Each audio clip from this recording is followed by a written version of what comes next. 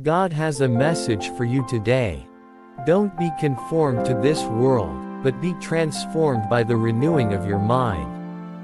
So that you may prove what is the good, well pleasing, and perfect will of God.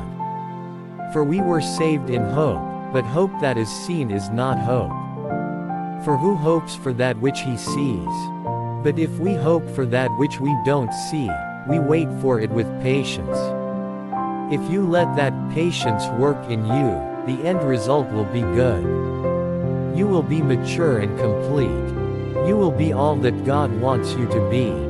Now when Daniel knew that the writing was signed, he went into his house.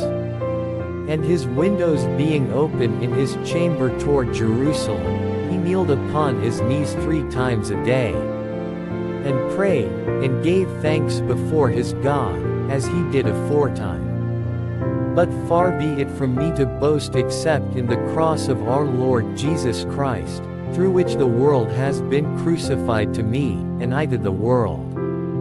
God bless you. Type, Amen, if you have faith and trust in God.